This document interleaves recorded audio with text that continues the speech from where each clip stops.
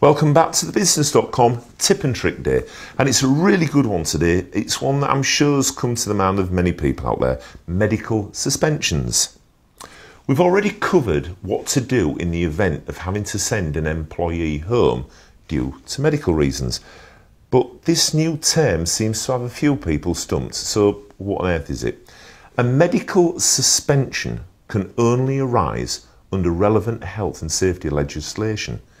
This comprises of the Ionising Radiation Regulations 1999, what a mouthful, Control of Lead at Work Regulations 2002, and Control of Substances Hazardous to Health Regulations 2002, what memory.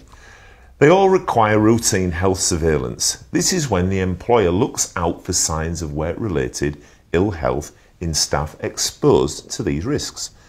If this reveals that an employee's continued exposure to hazardous substances risks damage to their health, the employer must immediately remove them from the work they are doing.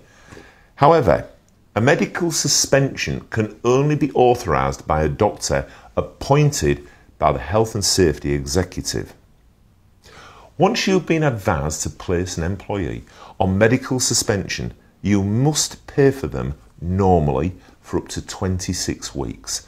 It's worth noting that this is full pay and not sick pay. There are a few extra points here as well to remember. You don't have to pay an employee if you've offered them any suitable alternative work for the duration of their medical suspension and they've refused it.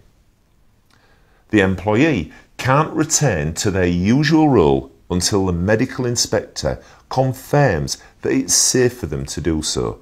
It's not your decision. If they're unhappy with the decision to suspend, they can ask the relevant authorities to review it. This applies to very few companies across the country, but it is a valuable piece of information if your employees work with hazardous items, and it's our top tip for today. More to come from thebizniz.com. See you soon.